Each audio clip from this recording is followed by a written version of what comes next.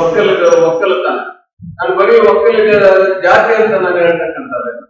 ಇದೊಂದು ಪರಂಪರೆ ಆಗಿ ಯಾರು ರೈತರಿಗೆ ರೈತನ ಕುಟುಂಬದಲ್ಲಿ ಹುಟ್ಟಿ ರೈತ ತನ್ನ ಅನ್ನದಾತನಾಗಿ ನಮ್ಮ ದೇಶಕ್ಕೆ ಅನ್ನ ಕೊಡ್ತಾ ನಾವೆಲ್ಲ ರೈತ ಇಡೀ ಪ್ರಪಂಚಕ್ಕೆ ಅನ್ನವನ್ನ ಕೊಡ್ತಾ ಇದ್ದಾನೋ, ನೀವು ಏನು ಅನ್ನವನ್ನ ತಿಂತಾ ಇದ್ದೀರೋ, ಅದೇ ಅನ್ನವನ್ನೇ, ಅದೇ ಆಹಾರವನ್ನೇ ಎಲ್ಲ ರೈತರು ಜನಾಂಗದವರು ಆ ಒಂದು ಹೇಳಿಕೆ ನೀವೇನಾದ್ರೂ ರಾಜಕೀಯದಲ್ಲಿ ನಿಮಗೆ ಎಡವಟ್ಟಾಗಿದ್ರೆ ಯಾರು ನಿಮಗೆ ಇರ್ತಕ್ಕಂಥ ವ್ಯಕ್ತಿಗಳಿಗೆ ನಿಮ್ಗೆ ಏನಾದರೂ ಮೋಸ ಮಾಡಿದ್ರೆ ಅವರನ್ನ ನೀವು ನಿಮ್ಮ ಪಕ್ಷದ ಒಂದು ಚೌಕಟ್ಟಿನಲ್ಲಿ ಕ್ರಮವನ್ನು ತೆಗೆದುಕೊಳ್ಳಿ. ಅದರ ಬಗ್ಗೆ ನಮ್ಮ ಯಾವುದೂ ನಮಗೆ ಯೋಚನೆ ಇಲ್ಲ.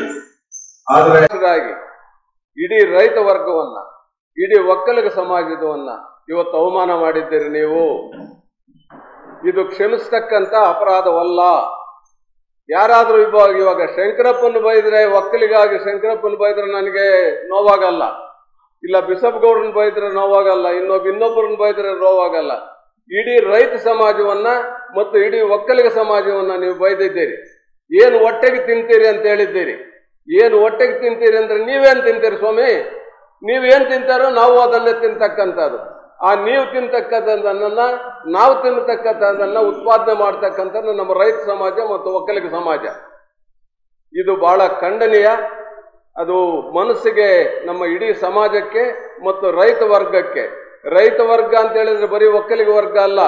ಯಾರು ಕೃಷಿಯನ್ನು ಅವಲಂಬಿಸಿರ್ತಾರೆ ಯಾರು ಈ ದೇಶಕ್ಕೆ ಅನ್ನವನ್ನು ಕೊಟ್ಟಿರ್ತಾರೆ ಅವರೆಲ್ಲರಿಗೂ ಅವಲಂಬಿಸ್ತಕ್ಕಂಥದ್ದು ಅವ್ರನ್ನೆಲ್ಲರನ್ನೂ ಅವಮಾನ ಮಾಡಿದ್ದೀರಿ.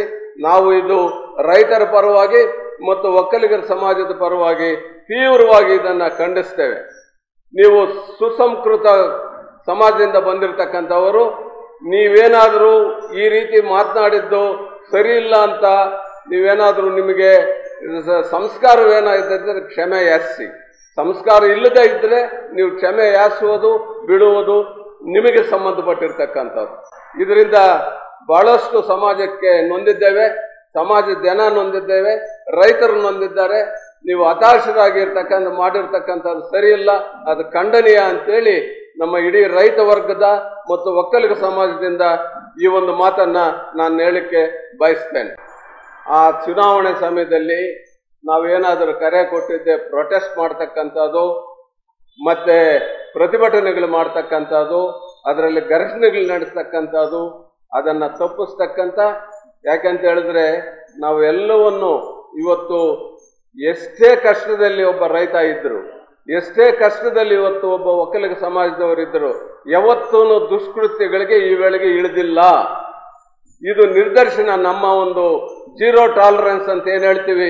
ಇದೊಂದು ನಿರ್ದರ್ಶನ. ಆದುದರಿಂದ ನಾವು ಆ ರೀತಿ ಗೊಂದಲ ಸೃಷ್ಟಿ ಮಾಡೋದು ಬೇಕಾಗಿಲ್ಲ, ಸಮಾಜದ ಒಂದು ನೆಮ್ಮದಿಯನ್ನು ಕೆಡವಲಿಕ್ಕೆ ಬೇಕಾಗಿಲ್ಲ ಅಂತೇಳಿ ನಾವು ಪತ್ರಿಕಾಗೋಷ್ಠಿಯನ್ನು ಮುಂದೆ ನಡೆಸಲಿಲ್ಲ.